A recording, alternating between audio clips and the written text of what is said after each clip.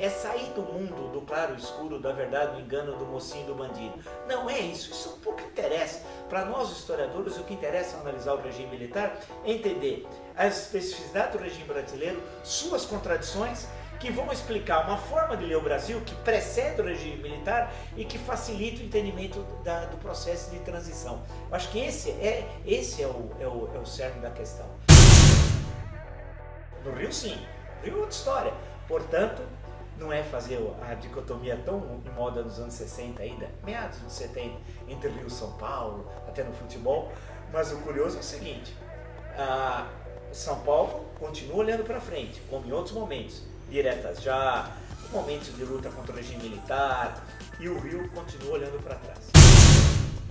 Por outro lado, os que defensores do regime militar, muitas vezes fazem uma, é, faz uma leitura é, é, pouco crítica, não entende o livro, né?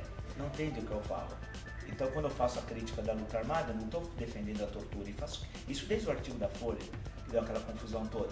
Eu mostro que, que você não pode trabalhar com dois, com dois extremos. A tortura é algo desprezível, um crime contra a humanidade, assim como colocar uma bomba no consulado americano. Mas é inegável que a gente não pode deixar de lembrar as graves violações aos direitos humanos né, que passa pela prisão indiscriminada, pela tortura, pela morte, desaparecimento, pelo, pelo cenário de medo, pela censura tal. Então nós temos de equilibrar as análises do período do regime militar. Eu acho que essa é a dificuldade. O pesquisador não pode ser partícipe da história. Ele se descola do objeto.